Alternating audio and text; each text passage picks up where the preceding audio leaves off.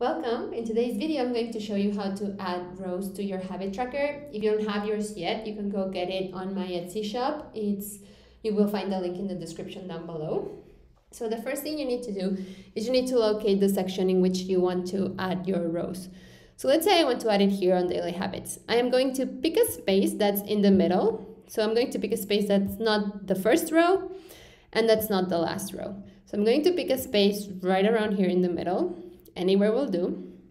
I'm going to select a row by clicking on the row number. I'm going to right click and insert one row above. Now, as you can see, the formatting is funny and there's no formula here. So what you need to do is you need to copy an already existing row and paste it on this new row. That will copy the formatting and the formulas.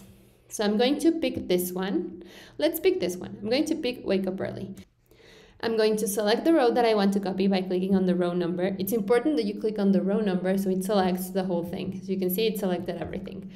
So I click on the row number, I copy, and then I paste on my new row.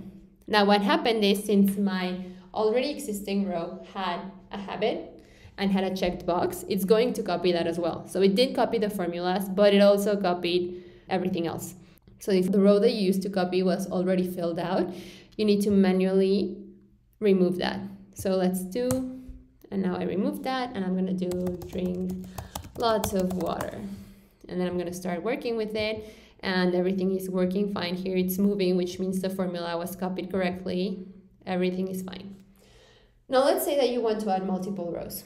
What you do, if you want to add, for example, five rows, you are going to select five rows in the middle, ignoring the top one and ignoring the bottom one.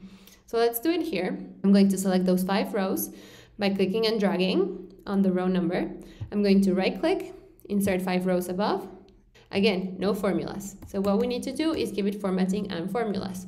We do that by copying an already existing row. Let's say meditate.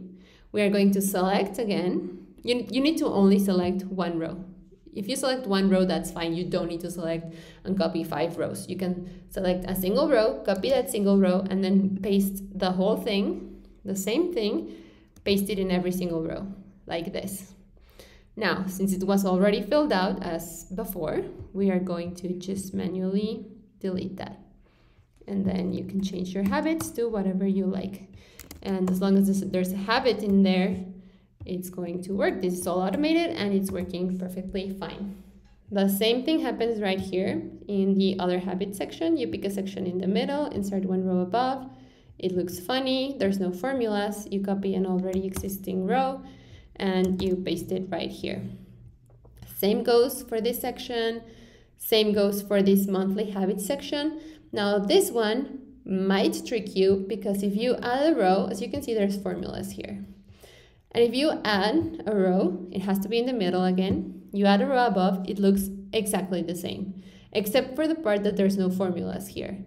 So you know that row 11, row 11 right here, it's highlighted, it has no formulas. So you need to go ahead, copy an already existing row, paste it on row 11 and now there's formulas. So I just wanted to mention that this section, the yearly goals section, I didn't build that for you to be able to add more rows easily because it's meant to have a limited number of things that you are working on at the same time. So what happens is once you are done with a goal, you can delete it and add new goals. So I would only work with a few goals at a time.